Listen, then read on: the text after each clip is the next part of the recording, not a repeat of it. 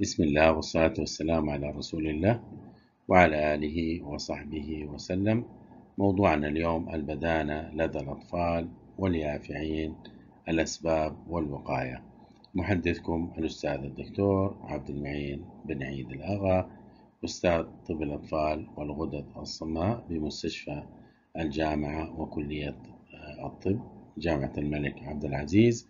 هذه المحاضرة موجودة على موقعي aa.kau.edu.sa عندما نتحدث عن الأسباب المؤدية إلى البدانة الكثير من الأسباب حقيقة موجودة ومن أهمها الاستعداد الجيني الوراثي قلة الحركة وكثرة الاسترخاء والجلوس الطويل الخلل الهرموني الغذاء الغير صحي التوتر النفسي والقلق العقاقير الطبية وحديثا تحول الميكروبات المعوية النافعة التي خلقها الله إلى ضارة. جميع هذه العوامل قد تؤدي إلى حدوث البدانة. تتزايد نسبة البدانة وفرط الوزن بين الأطفال والمراهقين بشكل وبمعدل ينذر بالخطر مما يؤدي إلى زيادة حدوث الأمراض المشتركة مع البدانة مثل المضاعفات الجسدية.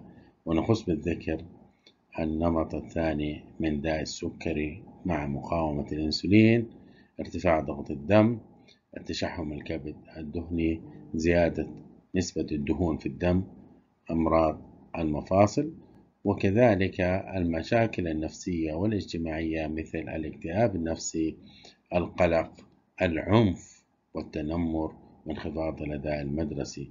هذه كلها أو بعضها من آه، المشاكل التي يتعرض لها الشخص البدين سواء كان طفلا أو شابا أو بالغا. ارتفاع معدل آه، زيادة الوزن خلال مرحلة الطفولة أصبحت ظاهرة عالمية مزعجة. آه، تقدر آه، نسبة زيادة الوزن والبدانة لدى الأطفال في الولايات المتحدة الأمريكية حدود 25% بمعنى طفل لكل أربع أطفال يعاني من إما زيادة الوزن البدانة. محليا في المملكة العربية السعودية الإحصائيات تشير إلى أن 70% من من المجتمع السعودي يعانون من السمنة وزيادة الوزن بين المواطنين. 50% منهم أطفال. ال 50% هذه تشمل زيادة وزن وبدانة. ليس بدانة فقط زيادة وزن مع بدانة 50% و 36% من السبعين في المية يعانون من سمنة مفرطة. آه، ما وضح ما الأسباب التي ذكرت في جريدة عكاظ بما يخص هذه الشريحة من المجتمع السعودي. الأسباب المؤدية إلى ذلك رقم واحد آه، الدراسات أثبتت أن الغذاء آه، والنشاط البدني في المدارس لدى الأطفال سيء جدا بمعنى أنه المقاصف في كثير من المقاصف المدرسية لربما آه، ليست تحت الرقابة في بيع آه، الغذاء الصحي الجيد. آه، كذلك حصص النشاط البدني ليست كافية لتقليل نسبة البدانة لدى الأطفال. كثرة المطاعم الوجبات السريعة المنتشرة في المملكة العربية السعودية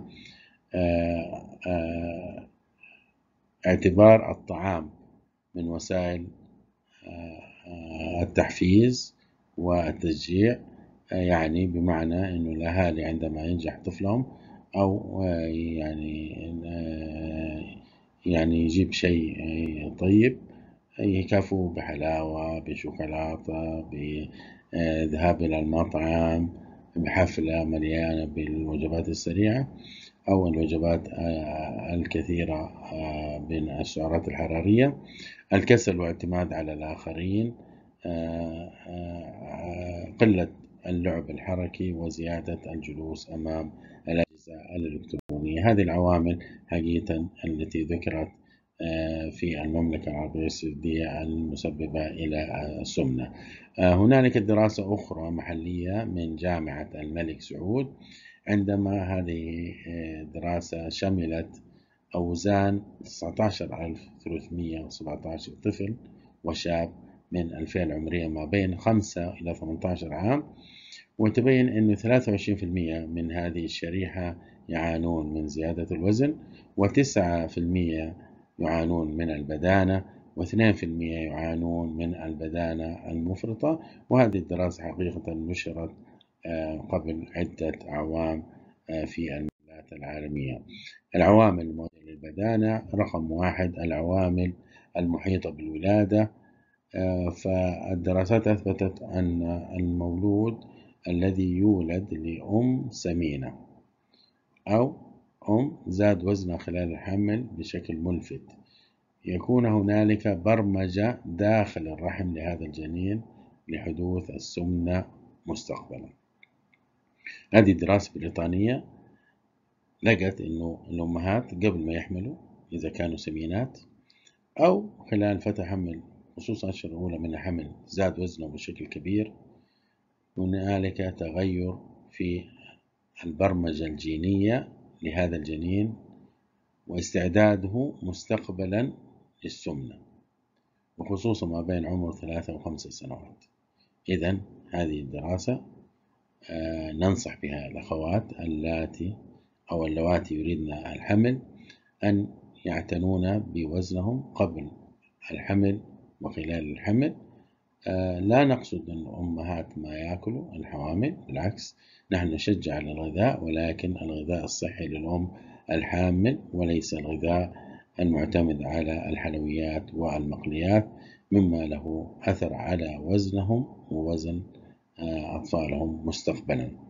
كذلك آه، الدراسات الحديثة أثبتت أن الأطفال الذين يولدون عن طريق العمليات القيصرية أكثر عرضة للسمنة مستقبلا عن الأطفال الذين يولدون ولادة طبيعية.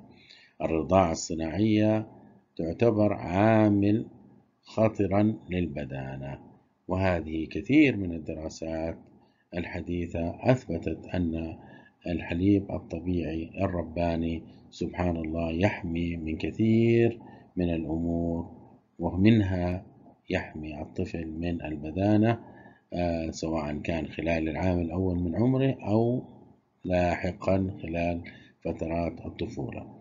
والحليب الصناعي على النقيض يزيد من خطر الإصابة بالبدانة على عمر آه، العام الأول أو مستقبلا. وهنا آه، ننصح أخواتنا الأمهات اللاتي أو اللواتي يرضعن أطفالهن أن يحرصوا على الرضاعة الطبيعية وخصوصا في الستة شهور الأولى إن لم يكن العام الأول من آه، عمر آه، مولودهم. طبعا من عمر ستة شهور يبدأوا بالأكل الإضافي آه، بالإضافة للحليب ولكن الحليب الطبيعي الرباني لا يوجد أفضل منه ولا يوجد له نمط الحياة الغير صحي الموجود حاليا لدى أطفال المملكة العربية السعودية وأطفال العالم كله أصبح حقيقة من أهم الأسباب البدانة آه، لو نحن نظرنا إلى الأطفال السمان أو البدناء آه، في جميع أنحاء العالم لوجدنا غالبيتهم يكثرون من الجلوس أمام آه، شاشات التلفزيون شاشات الكمبيوتر الآيباد الآيفون آه، البلاي ستيشن وغيرها من الأجهزة الإلكترونية. هذه الأجهزة حقيقة آه، ممتعة لدرجة أن الطفل لا يريد أن يتحرك ولا يريد أن يمارس الحركة مما أدى إلى ظاهرة أو انتشار ظاهرة البدن. آه، الوجبات السريعة كذلك من أهم عوامل انتشار البدانة لدى جميع شرائح المجتمع صغيرهم وكبيرهم غنيهم وفقيرهم. آه، للأسف الوجبات السريعة غنية بالسعرات الحرارية. فعلى سبيل المثال المثال الذي أمامكم في الشريحة آه، وجبة صغيرة من الهمبرجر مع قليل من البطاطس المقلي و كوب من البيبسي في 1610 سعرة حرارية. 1610 كثير جدا. في وجبة واحدة هذه الوجبة أنا متأكد الكثير من الناس يأكلونها ما بين الغداء والعشاء كتصبيرة أو كحاجة عابرة السبيل وإنما هي ليست عابرة السبيل وإنما هي غنية جدا بالسعرات التي قد تؤدي بالإكثار منها إلى سمنة وسمنة مفرطة. العامل الوراثي إذا كان الوالدين كلاهما يعانون من البدانة فنسبة إصابة أطفالهم تصل إلى 90% آه، يكون عرضة للاستعداد الجيني للسمنة. 90% نسبة عالية جدا إذا كان كلاهما بدين. وإذا كان أحدهما بدين نسبة الوراثة 30% أما إذا كان كلا الوالدين نحيفين فالاستعداد الجيني لأولادهم فقط 9% يعني تخيلوا من 90% آه، الخطر الإصابة بالسمنة إلى 9% 90% إذا كلا الوالدين سمين و9% إذا كلا الوالدين نحيفين.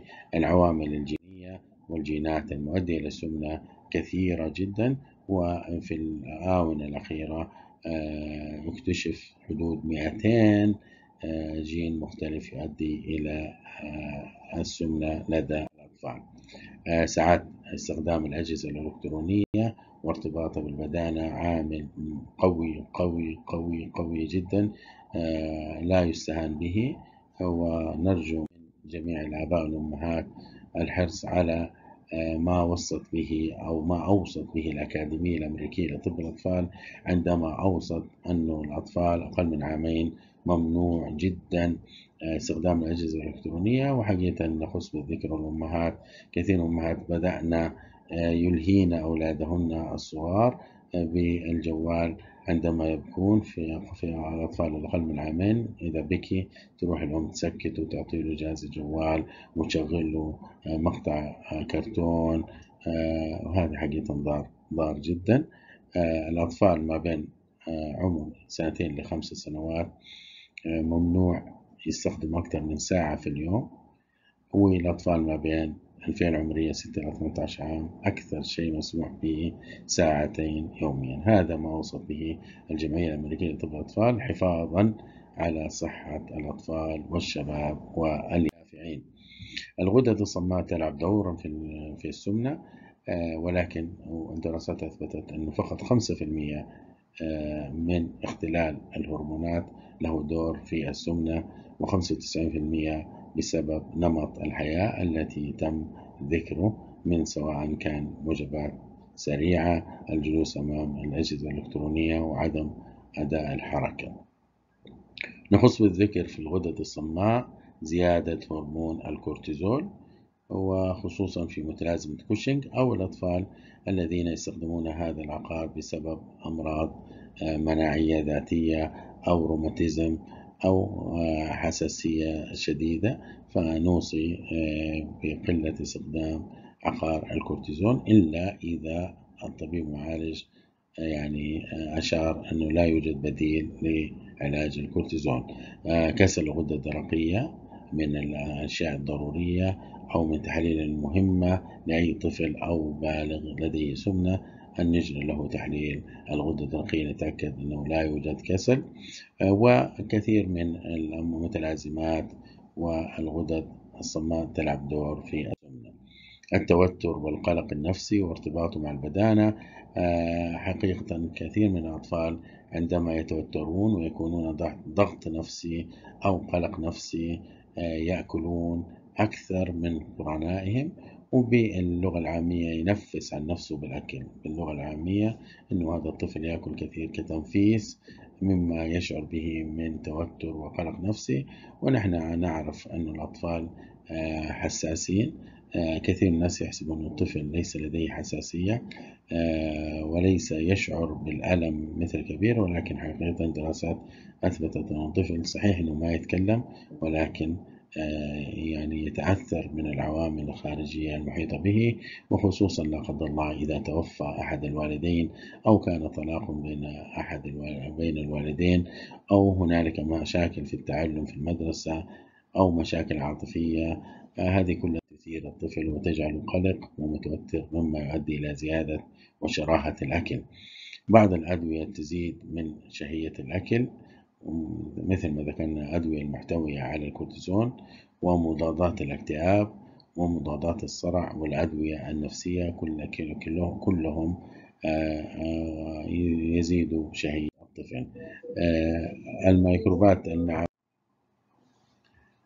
الميكروبات المعوية التي تسمى باللغة الإنجليزية microbiota.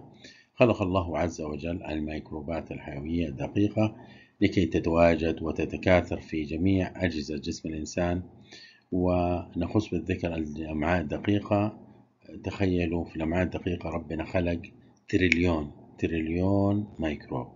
هذه التريليون ميكروب عشان حمايتنا يعني تخيلوا أن الله خلق ميكروبات عشان تحمينا من الميكروبات الخارجية اللي تأذينا. يعني ربنا حط عندنا أجهزة كثيرة تحمينا. لكن هذه الأشياء اللي تحمينا الميكروبات المعوية اللي تحمينا بإذن الله من الأمراض كلها. يعني العلم الحديث ذكر إنه هذه الميكروبات بإذن الله لا تحمي بس من الالتهابات تحمي من الالتهابات والأمراض المزمنة. هذه الميكروبات حتتحول إلى شيء زينة وشيء يضرنا إذا الإنسان عرضها لأشياء تحولها من نافعة إلى ضارة إيش الأشياء اللي تحولها من نافعة إلى ضارة. عندنا آه، كثرة على سبيل المثال كثرة المضادات الحيوية. والأكل آه، الغير صحي المليء بالزيوت والسعرات الحرارية والحلويات.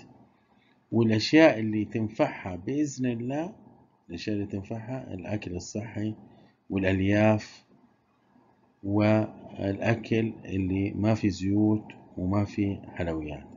يعني الدراسات العلمية الحديثة قالت إنه الناس اللي يسمنوا بسبب أكل الوجبات السريعة والمقليات الحلويات بسبب عاملين. أول حاجة هذه الأشياء الغير صحية مليانة سعرات حرارية. الشيء الثاني سبحان الله قالت إنه حتى تأذي البكتيريا النافعة الموجودة في الأمعاء وتحولها إلى الضارة. لما تتحول إلى الضارة تساعد وتساند حدوث السمنة السكر جميع الأمراض المزمنة منشأها من الأمعاء. وحقيقة نحن درسنا حكمة ونحن صغار الحكمة الأطباء اللي تقول المعدة بيت الداء والحمية رأس الدواء. وما كنا نعرف إيش معنى المعدة بيت الداء. كنا نحسب إنه البيت الداء فقط للإسهال أو النزلات المعوية حقيقة علم أثبت الموضوع أكبر من ذلك وأثبت إنه الأمعاء البكتيريا الموجودة فيها النافعة تتحول إلى ضارة عندما الإنسان آه، ما يحافظ عليها ويأكل أكل غير صحي ويأخذ مضادات حيوية ما لها لازمة. وهنا ننصح زملائنا الأطباء وخصوصا أطباء الأطفال عندما يأتي الطفل عنده حرارة وعنده حلق ووجعه ما هو دائما نعطيه مضاد حيوي كثير من الالتهابات. تكون بسبب التهاب فيروسي والالتهاب الفيروسي لا يعالج بالمضاد الحيوي فقط الالتهاب البكتيري هو اللي يعالج بالمضاد الحيوي.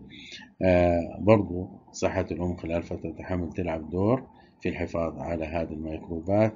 آه التقدم في العمر والأمراض المزمنة تغير كذلك من هذه البكتيريا النافعة. مضاعفات البدانة كثيرة لا حصر لها لكن أهمها حقيقة مقاومة الأنسولين والنمط الثاني من السكري ارتفاع ضغط الدم ارتفاع الدهون اضطرابات النوم. يعني إيش اضطرابات النوم؟ إن الإنسان السمين ما يقدر ينام. لما ينام ينخنق يشخر يقوم من النوم ما هو قادر يتنفس. هذه مشكلة. اضطرابات النوم هذه مشكلة كبيرة لدى مرضى السمنة.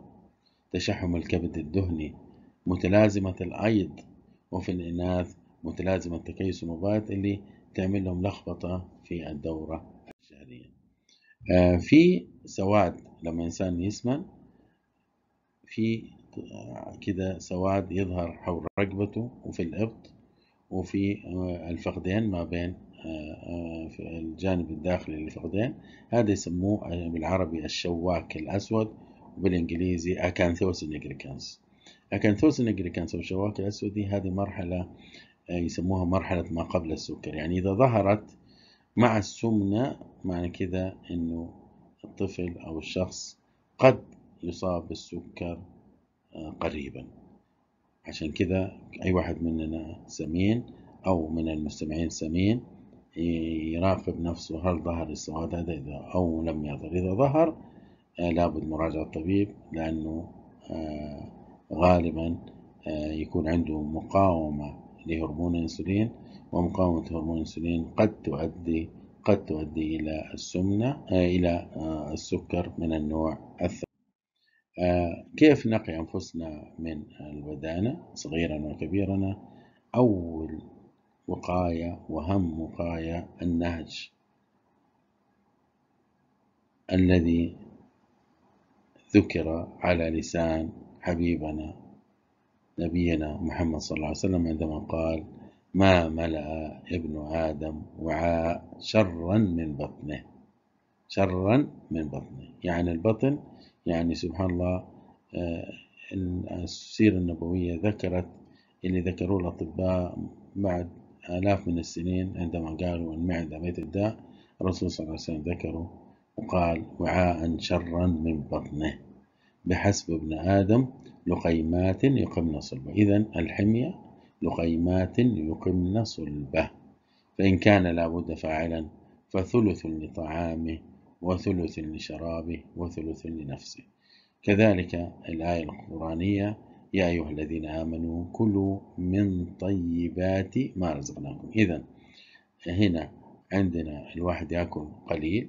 ليش قليل؟ ثلث ثلث بطنه. والآية القرآنية طيبات ما رزقناكم يعني الله عز وجل أي شيء أنبته فهو طيب. النبات كله طيب يعني بمعنى الخضار والفواكه طيب. وهو هذا اللي إحنا نحن ننصح فيه أي واحد يبغى حياة سليمة حياة صحية نقول له أكثر من الخضار والفواكه لأنه هي التي أنبتها الله عز وجل. ما في أي خضار وفاكهة مكتوب صنع في جدة ولا صنع في مصر أو صنع في أي دولة عربية أو غربية كل هذا صنع الله. لكن المشكلة صنع البشر سواء من بساكيت أو حلويات أو أشياء صناعية. هي اللي عملت مشاكل للناس سواء كان سمنة أو أمراض السكر والضغط كلها ناتجة عن صنع البشر. لكن صنع الله الذي أتقن كل شيء خلقه أو من نبات وفواكه هذا حقيقة عمره ما يضر الإنسان. وسبحان الله الله عز وجل يعني قال كلوا قال في كتابه يا أيها الذين آمنوا كلوا من طيبات ولم يقول الله عز وجل كلوا مما رزقناكم قال كلوا من طيبات ما رزقناكم. بمعنى يعني الإنسان العاقل هو اللي لما يأكل يأكل شيء طيب طيب طيب يعني إيش؟ يعني ربنا خلقه. الشيء ربنا خلقه فهو طيب.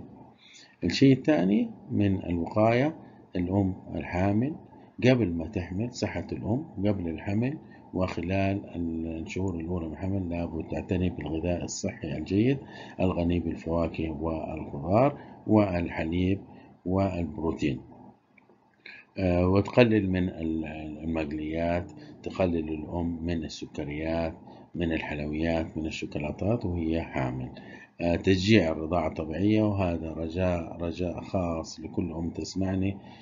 لا تذهبي إلى الرضاعة الصناعية. بأي حال من الأحوال رضعي طفلك طبيعي قدر الإمكان اضغط على نفسك ورضعي ولدك طبيعي من أجل صحته في العامين الأولين من عمره ومستقبلا حياته. معتمدة بعد الله على اللي هو تعرض عليه في رحمك وخلال السنوات الأولى من عمره.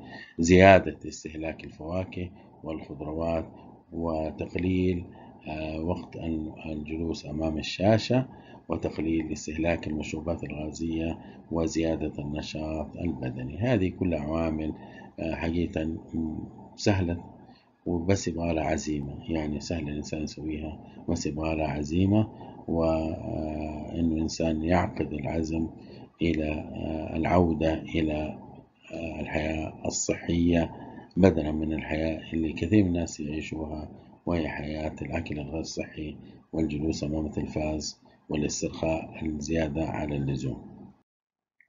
آه، في شيء آخر إنه لما نحن نطلب من أولادنا الحركة والرياضة نقول لهم يا ولد امشي يا بنتي قوم امشي ونحن جالسين. هذا خطأ يا جماعة. لازم نحن نشاركهم نشاركهم الرياضة. الأولاد ترى يفرحوا يفرحوا إن أبوهم وأمهم يمشوا معاهم. ترى نفسيا مهم. التعزيز النفسي يا جماعة مهم. ولما نأمرهم ياكلوا أكل صحي ونحن نأكل والله أكل غير صحي نقول لا والله أنت سمين. أنت تأكل أكل صحي ونحن عادي نجيب حلويات. أخوانه يأكلوها وهو يقول له أنت ما تأكل أنت عشان سمين؟ هذا خطأ يا جماعة. لازم التضامن الأسري الصحي. نمشي مع أولادنا ونأكل أكل صحي مع أولادنا لأنه نحن قدوة لهم. نحن قدوة لهم. الأكل المقليات رجاء نبعد عنه ونستبدله بالمشويات والمسلوق. وزي ما قلت لكم لا تنسوا أنه الأب والأم هم هم قدوة الأطفال والأولاد. حتى لو كبر الولد أو البنت وأصبح شاب أو شابة ما زال الأب والأم إلى ما يتوفاهم الله. وحتى بعد وفاة الأب والأم بعد عمر طويل هم قدوتهم. يفتكروا أبوهم وأمهم بالخير يقول والله أبونا أو أمنا كانت تقول لنا ما تأكلوا مقليات كانوا ما يجيبوا لنا حلويات كانوا يخلون يبونا نمشي عشان صحتنا. فلا تنسوا القدوة الحسنة وما هو شيء كويس لما الأب كما هي هنا الصورة ما شاء الله سمين ويعني بالبلدي كرشته ثلاثة متر يعني صعبة والله صعبة جدا. ويخلي ويقول لأولاده امشوا. يقول لأولاده يا أولادي لا تسمنوا. لا صعب. لازم نحن قدوتهم وزي ما نحن نأمرهم بالأكل الصحي نحن نأكل صحي وزي ما نأمرهم بالرياضة لازم نحن نلعب رياضة. التدخل آه، الدوائي هو آخر الحلول. التدخل الدوائي هو آخر الحلول. آه، وهنالك عقارين متوفرين حاليا في المملكة العربية السعودية للأطفال فوق عمر 12 سنة. آه، وهذا العقارين تحسن من مقاومة الأنسولين والاستعداد لا قدر الله للسكر واحد يسموه عقار الميتفورمين اللي يسموه جلوكوفاج. والثاني إبر حديثة وسمحت آه، باستخدام الأطفال فوق عشر سنوات. منظمة الأدوية العالمية سمحت باستخدامها. وهذه إبر تحت الجلد في منها يومي في منها أسبوعي. هي فكرة هذه الإبر تقلل الشهية لدى الأطفال والبالغين والكبار وتزود من حساسية استقبال الهرمون الأنسولين آه، لدى خلايا الجسم مما لها دور في علاج مقاومة الأنسولين أو لا قدر الله من لديه سكر من النوع الثاني. آه، نختم آه، محاضرتنا هذه بعدة نقاط. أول حاجة كثير من الناس يعني يقول والله نحن في السعودية سمان لأنه ما نعمل رياضة بسبب أنه الجو عندنا في السعودية معظم السنة حار ومناخ السعودية حار في معظم مناطق على يعني مثلا أنا في جدة يعني تقريبا ثلاثة شهور أربع شهور جو لطيف وثمانية شهور الجو حار. يقول لك والله الجو حار فين نمشي؟ فين نتحرك؟ يقول له لا هذا كلام غير صحيح إلا أنه في مماشي ما شاء الله أصبحت مماشي كثير وخصوصا بعد المغرب أو بعد العشاء الجو يكون لطيف. وكذلك لا يمنع أنه الواحد يكون في بيته جهاز مشي آه، سير ماشي ممكن يشترك في الأندية. مسبح داخلي ويسبح هو وأولاده السباحة ما في أجمل منها ما في ألطف منها. وبالتالي هنالك صحيح أنه الجو حار ولكن في طرق أخرى الواحد ممكن يسويها من أجل أنه يلعب رياضة. الإنسان يفضل أنه أي واحد عنده سمنة أنه أقل شيء 30 دقيقة يوميا يفضل ساعة بس أقل شيء 30 دقيقة وخمس أيام في الأسبوع. من الأشياء المهمة بالله يا جماعة آه، الحد من ساعات استخدام التلفزيون والأجهزة الإلكترونية. أكثر شيء مسموع ساعتين. آه، الأمهات بالله رجاء أنه تهتموا بصحتكم قبل ما تحملوا بوزنكم وكمان آه، الرضاعة الطبيعية. حقيقة الرضاعة الطبيعية هذه نعمة من الله. أنعم بها على الأم. آه، فلا تحرم طفلك من هذه النعمة. الأطباء الأطفال رجاء لا تكثروا من استخدام المضادات الحيوية إلا عند الالتهابات البكتيرية. وليس أي طفل عنده حرارة ومسخن يعطيه مضاد حيوي لأنه هذا يغير الميكروبات الحيوية النافعة. من نافعة إلى ضارة مما يؤدي إلى الإصابة بكثير من الأمراض منها آه، البدانة. نتمنى للجميع حقيقة آه، الصحة والعافية. وهذه آخر آه، شريحة أنا حطيتها في هذه المحاضرة صحن من الفواكه والزبادي. ما في أجمل منه يعني يا ريت كلنا نبدأ نعود أنفسنا على كثرة استخدام الفواكه والخضار لأن فيها ألياف غنية بالألياف اللي تفيد جسمنا وتحمينا بإذن الله من آه، البدانة. وفي نفس الوقت أكلها جميل وأكلها لطيف ولذيذة الطعم آه، فيا ريت نغير كلنا آه، سلوك حياتنا. هذا يسموه تغيير نمط الحياة. ونلعب رياضة ونتحرك وناكل أكل صحي عشان هذه الظاهرة تختفي بالتدريج وتنقرض بإذن الله تعالى. وإذا انقرضت أو اختفت اختفت معها كثير من الأمراض المزمنة الشائعة في بلدنا الحبيب. آه شكرا لإنصاتكم ونتمنى لي ولكم الصحة والعافية ولأولادنا وأولادكم بإذن الله تعالى.